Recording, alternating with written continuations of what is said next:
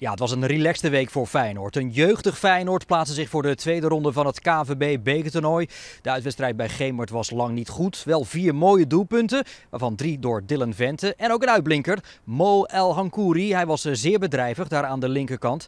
Er bestaat zomaar een mogelijkheid dat El Hankouri zondagmiddag hier in de Kuip tegen Vitesse in de basis staat. Dat komt omdat Sam Larsson vandaag pas voor het eerst deze week heeft mee kunnen trainen met Feyenoord.